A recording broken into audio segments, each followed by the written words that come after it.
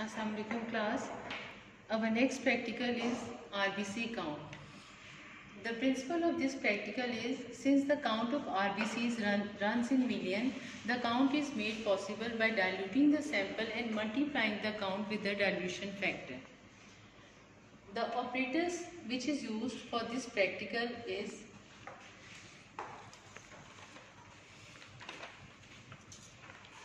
consist of an RBC pipette. I have already explained it. Neubauer chamber, you already know about it. Cover slip. Diluting fluid, the fluid that is used for the dilution of the sample.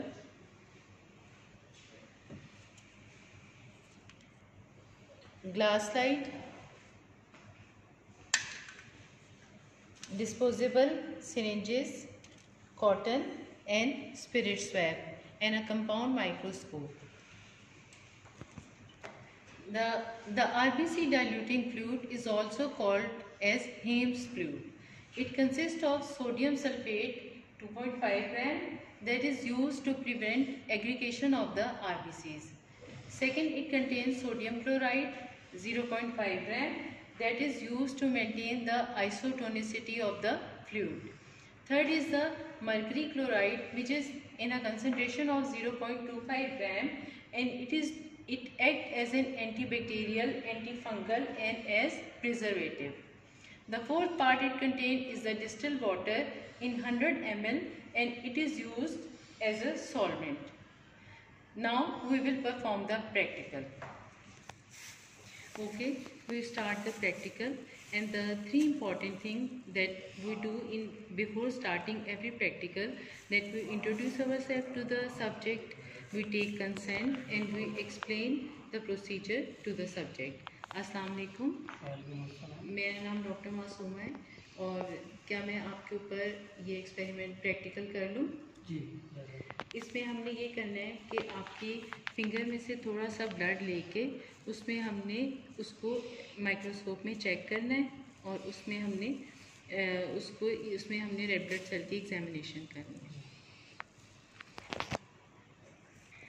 Okay वो start the procedure सबसे पहले हम ये करेंगे कि subject की finger लेंगे और उसको स्पिरिट स्वैप से क्लीन करेंगे।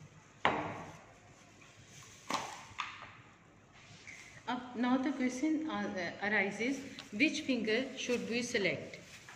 We usually select index finger or middle finger. We we ideally we should not use index finger little finger or thumb. Why we should not use? Because the palmar fascia of these three finger is continuous with the forearm. So if the infection develops it will spread from the palm to the forearm. So ideally we use these, uh, we can use any one of these two finger, either middle or ring finger. We will clean the finger tip with the help of spirit swab.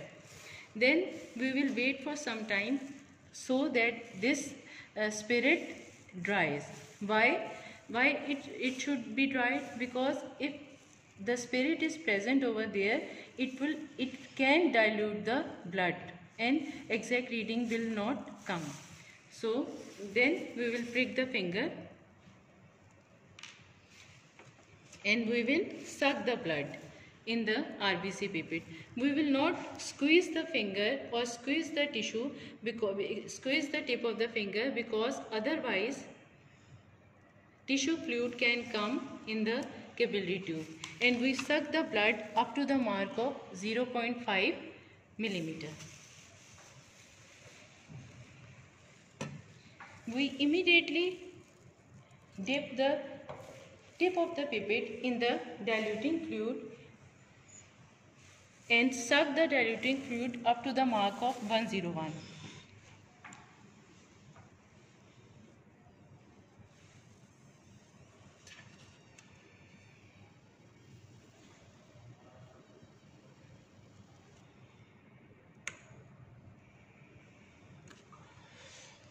Now we will roll the bulb of the pipette in between our palms or like this like Taisa is doing. So to mix the sample of the blood with the diluting fluid. Then we will discard first 2 to 3 drops of the blood because they contain diluting fluid. Start. We will discard first 2 to 3 drops of the blood from the RBC pipette so no blood cells come. So Saab is discarding 2 to 3 drops of the blood from the RBC pipette. So that dilute, diluting fluid should not come over our Neubauer chamber. Now we, we charge the Neubauer chamber. This procedure is called as charging. But what do you mean by charging? That when we put the drop of the blood at the edge of the, we put the RBC pipette at the edge of the cover slip so that the blood goes under the cover slip and then over the Neubauer chamber and we put the RBC pipette at an angle of 40, 45 degree. And so, and after that, we examine it under microscope, first of all under power 10x and then under power of 40x. Okay. We wait for 1 to 2 minutes for the RBCs to settle down and then we examine it under the microscope uh, first of all in power of 10, 10x and then under 40x.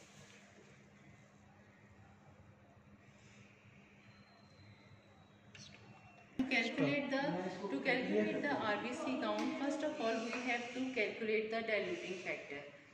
The volume of the bulb is 101 minus 1 that is equal to 100 cubic millimeter. Why we, we minus this one part because the stem of the pipette does not take part in dilution. Now 0.5 ml of the blood we have taken in the RBC pipette and along with 99.5 part of the diluting fluid. So there is dilution of 0.5 part of blood in 100 part of diluting fluid. So dilution obtained is 1 in 200 times. Area of one RBC square. Length into breadth. 1 by 5 multiplied by 1 by 5 is equal to 1 by 25 millimeter square. If we calculate the area of the 5 squares, area of 5 RBC square that are present in the central RBC big square 5 multiplied by 1 over 25. If we do the calculation, the area comes 1 by 5 millimeter square. Now if you calculate the volume of one RBC square, again the formula of volume is area multiplied by depth 1 by 5 multiplied by 1 by 10 that is the standard depth of the Neubauer chamber and it comes to 1 by 50 cubic millimeter. So what does it mean? It means 1 by 50 cubic millimeter contain n number of RBCs. Now we have to calculate this number of the RBC. Then 1 millimeter square will contain n multiplied by 1 divided by 1 over 50. That is that part. We will calculate the one a number n is equal to n1 plus n2 plus n3 plus n4 plus n5. I have already told you that these are the uh, RB in the large RBC square uh, four corner square, we calculate RBC in one central square. I have calculated the number of RBCs under the microscope and these are in first chamber 82, in second 80, third 81, and fourth 75 and fifth 85. And it total comes to about 403 number of RBCs. We multiply this 403 number of RBCs to the 50 Okay, this comes to about 20,150 number of the RBCs. And as I have already told you in the principle of the practical, that is the count is made possible by diluting the sample and multiplying the count with the dilution factor. So here we will multiply the count with the dilution factor. 20,150 is multiplied with the 200 and it comes to about 4 lakh and 30,000 number of RBCs in that sample of blood. Okay student, now I wanted to tell you, tell you one important thing that is Thomas rule for counting of red, red blood cell. There are five points in it. First is that immediate boundary of each small square is formed by three lines forming the square. Among triple lines, central is considered as main line for counting of cells. This is one small square of the central big square and the boundary is bounded by three lines and out of these three lines the central line is considered the main line for counting of the cells. We count the cells in inverted L-shaped manner. Leave, lower, left. Okay.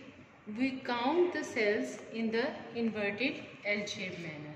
That is, in this manner, we will count the cells and we will leave the lower and left lines. Number three point of the Thomas rule is that cells lying on or touching within the square are to be counted with that square within the sec second line. The cells which are lying on or inside of the central line are counted within the square. Cells lying on or touching the upper horizontal and right vertical lines are to be counted with that particular square. Cells lying on or touching the lower horizontal and left vertical lines are to be omitted from that square because they will be counted with adjacent square. In this way, by considering this rule or these point, we have counted the number of RBCs in each square and we have done the calculations as I have already told you.